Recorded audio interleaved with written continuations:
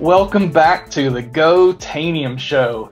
Hey, I'd like to thank everybody for your positive feedback. We dropped that four episode pilot, and the feedback has been overwhelmingly positive. You've asked for more episodes like that, and so that's what we're continuing to do. It's two days before Christmas as we're recording this episode, and the title today is Patching Your Ugly Sweater little tribute to the Griswolds today for Christmas. So uh, you'll see this probably drop the first part of the year, but we're recording this right at Christmas, hence a little bit of the Christmas theme. Patching your ugly sweater. Yes, this is going to be a patch episode. And today, with me on the call is none other than the PM for Patch, Greg Thomas. Greg, say hi to everybody.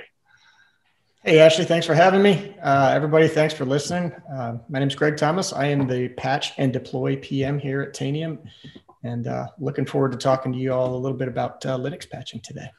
Yeah, so you guys have been up to a lot in the year 2020 in patch. I've seen a lot of little new features working their way in. Tell us a little bit about what you've done this year.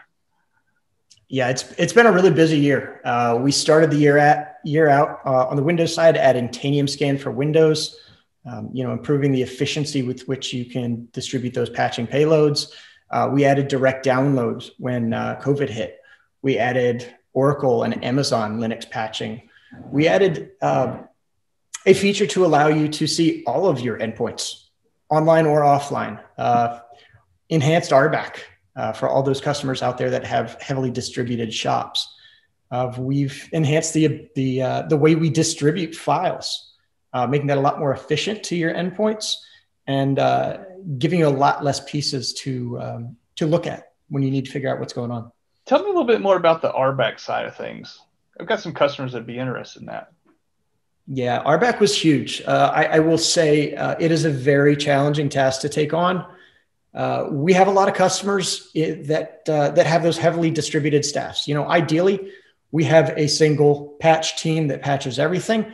But the reality of uh, the world we live in and the enterprises we service is they're huge and they have heavily distributed teams. So we made a really granular RBAC model uh, that you can you can essentially use it as far as your organization wants you to.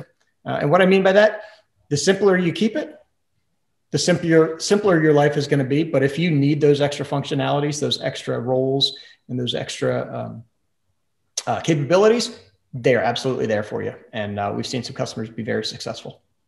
Fantastic. So a lot of this is really culminated from customer feedback from viewers like you and your input to the product. And uh, you've got a story about that. Greg, how this Linux thing coming in patch 3.2 that people will be seeing very soon was really about customer feedback.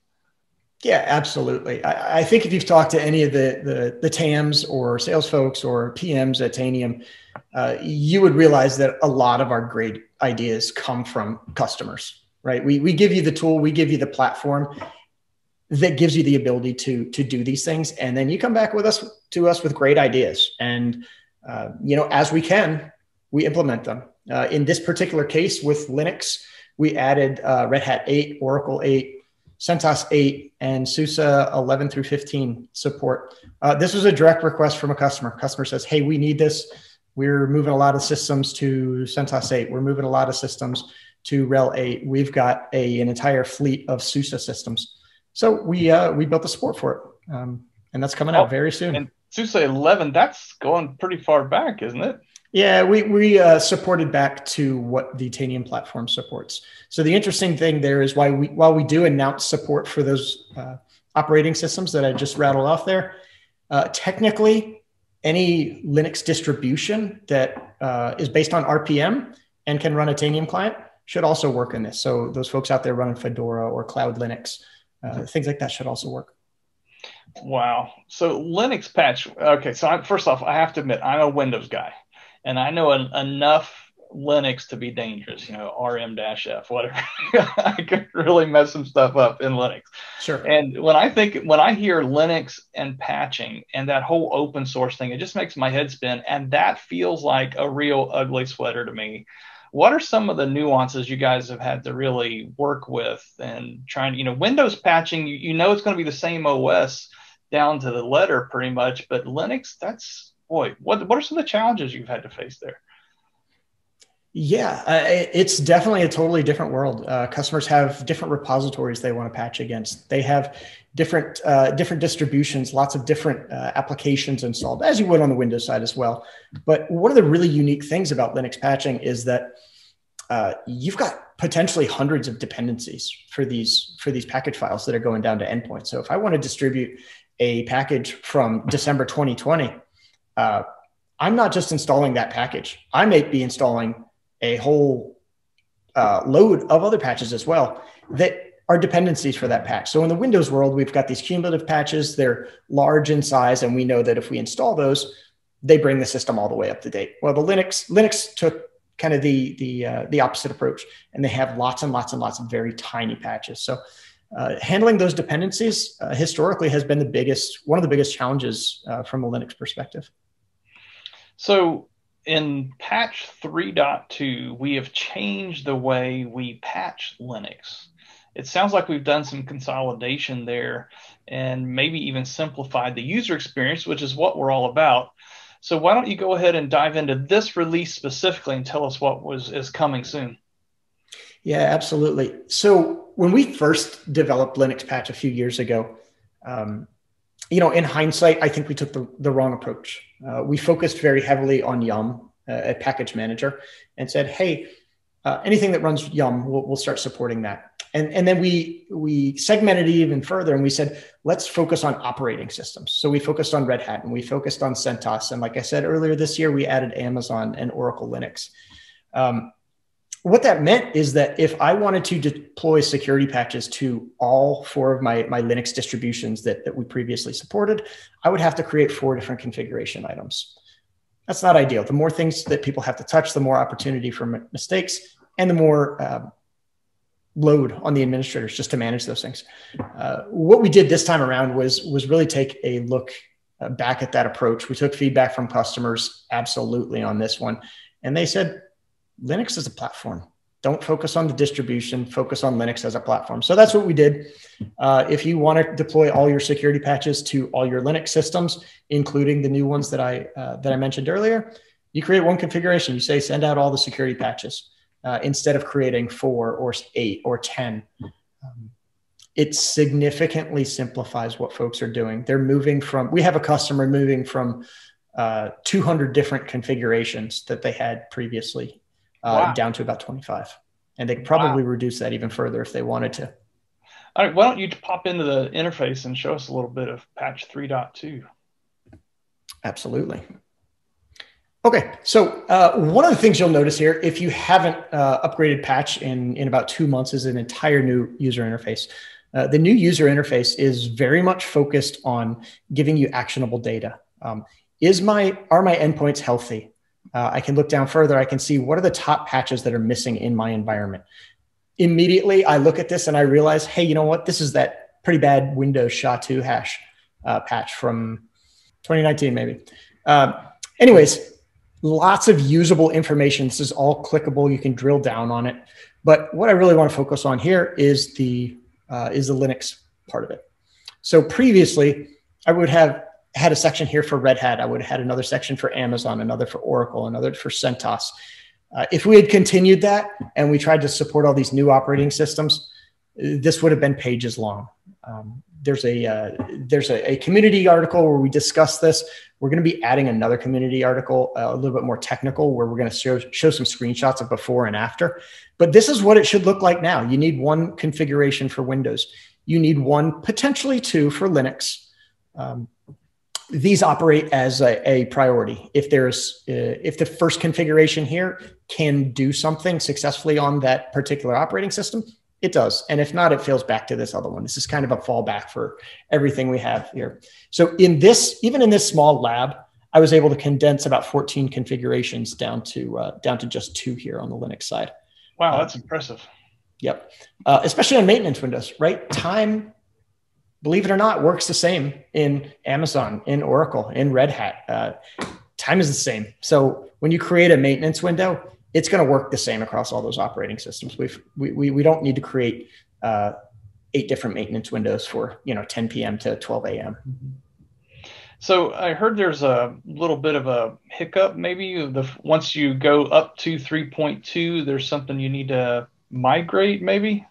Yeah, I, I mean, I wouldn't call it a hiccup. It's uh, it's by design. Uh, okay. The new the new model here um, of focusing on Linux instead of all those different operating systems uh, could be a little jarring for folks that just click the upgrade button without reading the release notes and knowing that this is going to happen. All of a sudden, their configurations get condensed. Uh, right. Quick timeout. Quick timeout. You said reading the release notes. All right, everybody. kb.tanium.com. I have to get that commercial in here. kb.tanium.com. Go read the release notes every time before you click the upgrade button. Please continue. yeah, yeah, that's that's a great point, Ashley. Uh, appreciate that. Um, yeah, I mean, reality is there, there's a lot of folks that aren't going to read those. They're not going to read them in detail. So what we did, we we created a migration. Uh, when you, if you want to enable this new Linux patch capability, you just come up here to the settings and you go to the operating systems tab. In this environment, you can see that it's already been enabled. We want to make it clear this is focused on RPM based distributions. When you click this button, you're going to get a screen that pops up that just gives you a few paragraphs to read. It explains what we're actually changing here. That is the primary reason for the migration. We want to make sure you just get that small screen to read so you know this change is happening and we don't just pull the rug out from under you. Uh, the actual migration takes a matter of seconds. You click the save button, and off you go. It's very, very simple. And it will take all those operating systems and condense them down to just the Linux platform. Okay, cool. Now you mentioned RPM Linux, and I know one question that's on a lot of people's minds. You know this question is coming. So what else? Uh, you know, Debian, Ubuntu. When are we going to see something in that neighborhood? Don't shoot the messenger, but uh, do your best with that one. Yeah, absolutely. Uh, that's that's another area we get tons and tons of requests from customers. Uh, part of what we did in this new 3.2 release is, as I mentioned, we, we kind of overhauled our approach. We are not as heavily focused on the operating system, the package manager, but what we also did was we simplified the, the onboarding of new package managers. Uh, as, as you mentioned, Ubuntu and Debian, those are pretty high on our list, uh, as is um, Mac, to be honest with you. Um, we've simplified our ability to onboard those. I expect we'll see uh, we'll see those here in 2021. Oh, that's good news. Yep. So there's a lot for Linux in this release. Uh, what about non uh, Linux or other Windows folks? What other other improvements, fixes, things in 3.2 that they're going to benefit from as well?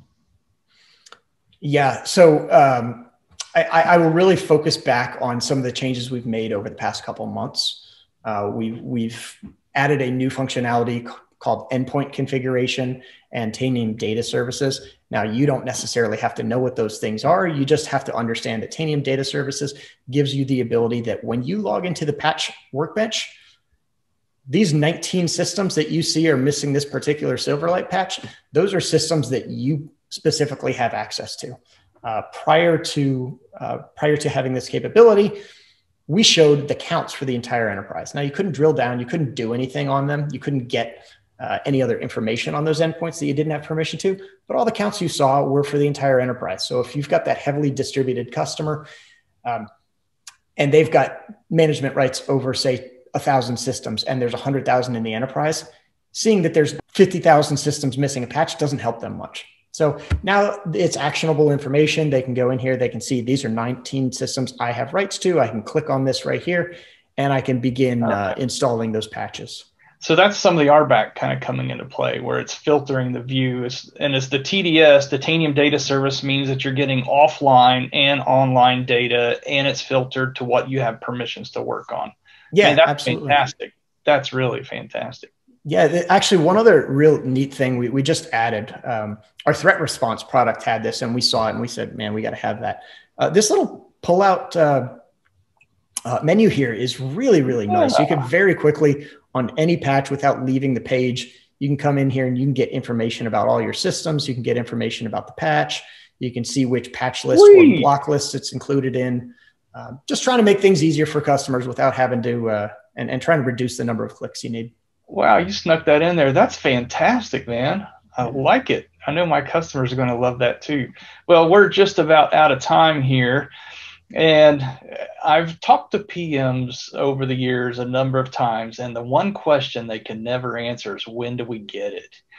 And I know that's a trick question, and you can plead, uh, you know, complete the fifth, whatever, but it's basically like coming soon. Uh, but uh, what, when, when should customers expect this uh, approximately? You're coming with all the hard questions. Yeah. Uh, if you asked me two weeks ago, I would have said this week. Um, the holidays have been a challenge, you know, folks taking PTO and whatnot. So we'll, we'll get this out by the middle of January, by, by January 15th. We've got some customers expecting to use this in their uh, production environments. Uh, we've actually got customers running this uh, as, as a limit availability release already and given us great feedback. Uh, just another example where um, our customers really drive what we do. Uh, and, and they're incredibly helpful for us as we develop products. So That's thank you all. Yeah, thank you. Go ahead and stop sharing your screen. I've got uh, something here I want to share with folks Absolutely. as well. So as we wrap up this episode, I'm going to put my slide back up here, which has a bit.ly short URL to bit.ly slash tpatch32, Tanium Patch 3.2. If you follow that link, it's going to take you to one of Greg's community posts. And the community is where we can also get your feedback on this. Let us know what you liked, what you didn't like, what was working for you, what we still need to fix. We would love to hear back from you. And thank you again for making the GoTanium show an early success. So we're going to continue to bring you cutting edge, relevant release content like this.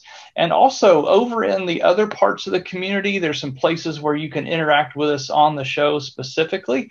You can also go to bit.ly uh, slash go dash tanium dash show, which will take you to the Go Tanium page within the Tanium community. So thanks again, Greg, for being our guest on the show today. And go check out this post from Greg for more information on what's coming your way in Tanium Patch 3.2. And for even more information, go to kb.tanium.com.